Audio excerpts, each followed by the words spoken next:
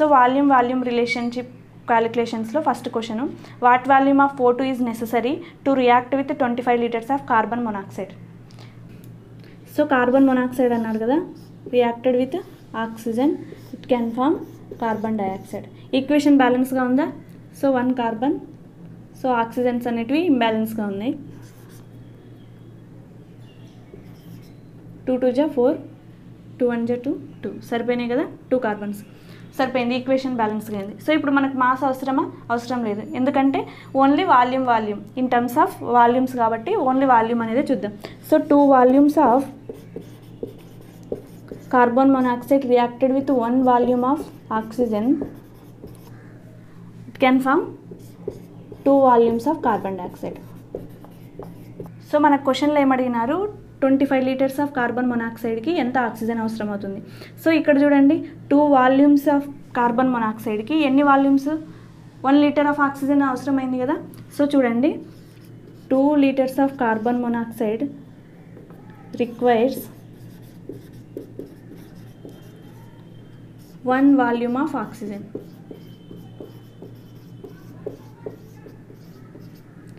If 25 liters of carbon monoxide requires how volume of O O2 so 2 liters of carbon monoxide requires 1 liter of oxygen అదేవిధంగా twenty five twenty five litres of carbon మొనాక్సైడ్కి ఎంత require అవుతుంది? So అప్పుడు ఏం చేయాలి? One by two into twenty five చేయండి. One by two into twenty five so zero point two five into zero point two five into twenty five చేస్తే మీకు వచ్చే answer twelve point five litres అనమాట so twelve point five litres of oxygen అనేది require అవుతుంది. When twenty five litres of carbon మొనాక్సైడ్కి.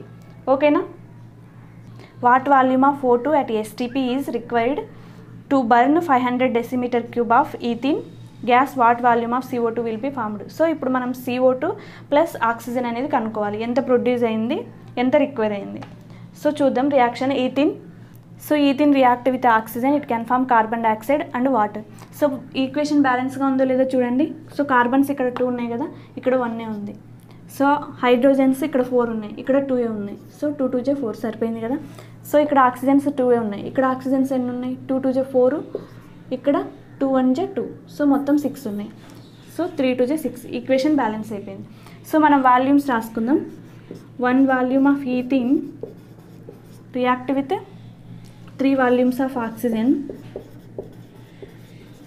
it can form two volumes of carbon dioxide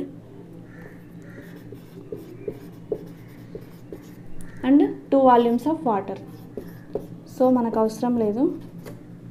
water so ఇప్పుడు మన క్వశ్చన్లో ఏమడిగినారు వన్ ఫైవ్ ఇప్పుడు five hundred litres of ethyne అనేది ఎంత oxygen require అవుతుంది?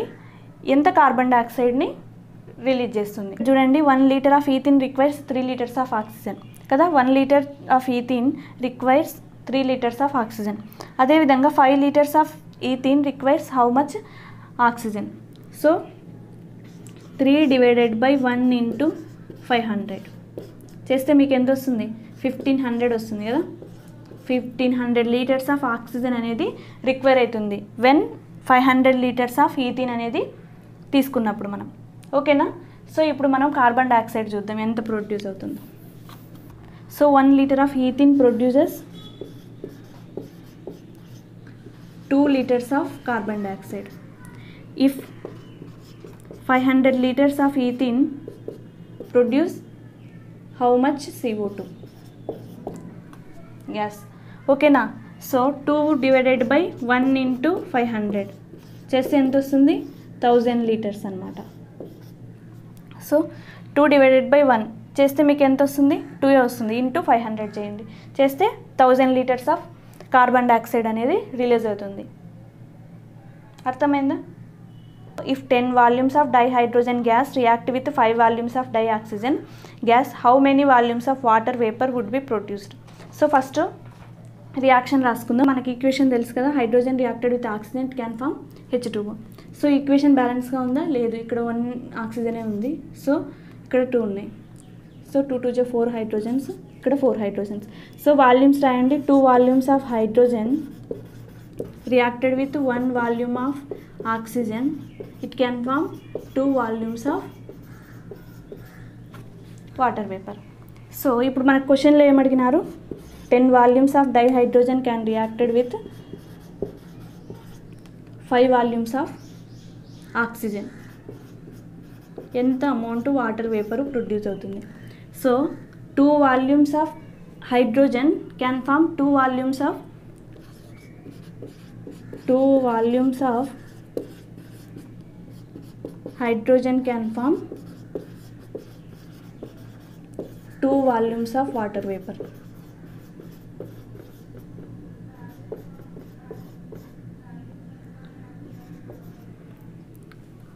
so ఇప్పుడు మనకి టెన్ వాల్యూమ్స్ కదా?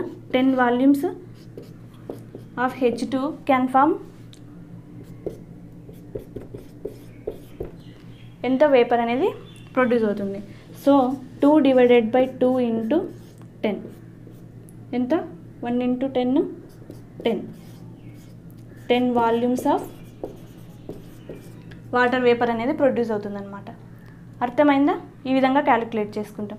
సో మీరు స్టాక్యోమెట్రీలో క్యాలిక్యులేషన్స్ మోల్ కాన్సెప్ట్ ద్వారా కూడా ప్రతి ప్రాబ్లమ్ని సాల్వ్ చేయొచ్చు అనమాట సో నేను ఇక్కడ యూనిటరీ మెథడ్ చెప్పడం జరిగింది. సో ఎవరికి ఏ మెథడ్లో ఈజీగా క్యాలిక్యులేషన్స్ సాల్వ్ చేయడం వస్తే ఆ మెథడ్ ఫాలో అయిపోండి. So thank you so much for watching my videos. Next వీడియోలో కలుద్దాం.